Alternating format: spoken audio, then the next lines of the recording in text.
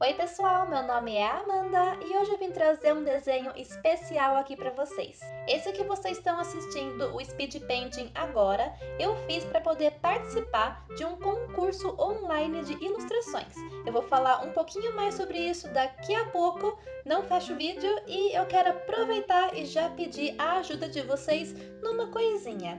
Eu já postei esse desenho semana passada lá no meu Instagram de artes e no Twitter também. Os links estão aparecendo aqui embaixo na tela e também na descrição.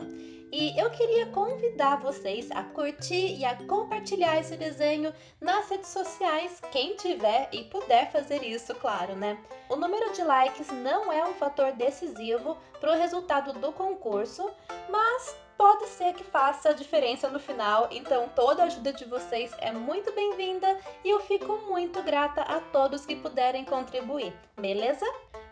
Mas enfim, continuando, esse vídeo e esse desenho foram meio que encaixados na minha programação de vídeos para fazer, porque num belo dia, quando eu abri o programa que eu uso para desenhar, que no caso é esse Clip Studio Paint, esse que eu estou usando aqui no vídeo, quando eu abri ele, eu vi a notificação de que teria esse concurso, que já teve em outros anos também, e a data limite para postar o desenho era 14 de janeiro agora de 2021. O resultado só sai em fevereiro, se eu não me engano, mas eu não lembro o dia agora para poder falar para vocês. A minha ideia inicial era ter postado esse vídeo já no dia 14, junto com o desenho, só que eu tive alguns problemas pessoais e técnicos principalmente, e ele acabou atrasando um pouquinho e saindo só hoje. Porque finalmente eu consegui trocar de computador e agora eu tô tentando me adaptar com ele, né? Ah, enfim, o tema do concurso desse ano era The Best Smile, que significa o melhor sorriso.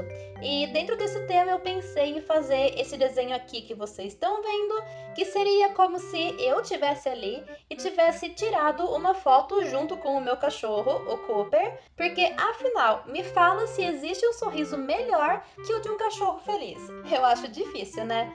Um, além do mais, o quesito criatividade é bem importante no concurso, então vamos ficar aí na torcida. E falando no Cooper, no meu cachorro, quem me acompanha aqui provavelmente já viu as duas animações dele que eu fiz na faculdade. E se você ainda não viu, o link está na descrição e nos cards também.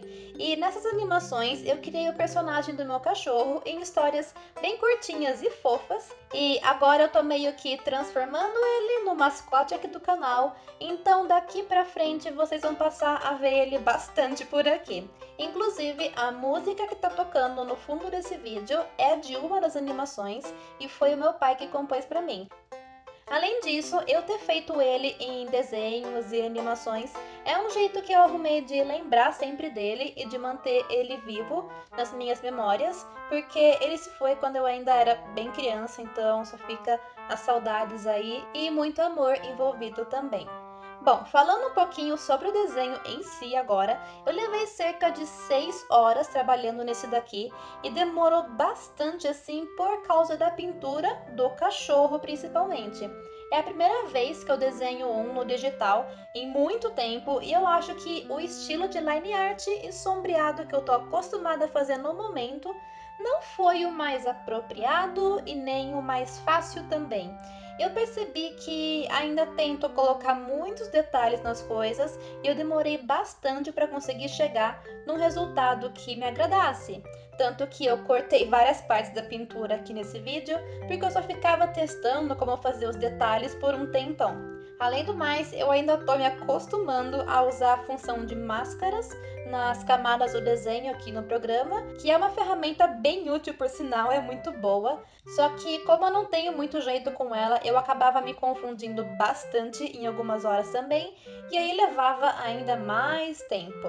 No final, eu acho que o desenho ficou bem bacana, apesar de todas essas dificuldades. Um aprendizado que eu vou levar comigo é que eu preciso explorar mais o programa e me aventurar mais em estilos de desenho mais soltos e que levem menos tempo de trabalho também, porque eu fico tão presa em alguns detalhes e eu gasto tanto tempo tentando acertar que no final eu fiquei exausta de trabalhar nesse desenho. Acabou que eu não queria nem pensar em desenhar nada nos dias seguintes, só para poder me recuperar disso. Alguém mais aí já passou por isso também? Eu acho que isso é algo normal entre artistas e também acho que às vezes é bom mesmo que a gente diminua o ritmo para poder dar uma recarregada nas energias e voltar com tudo depois.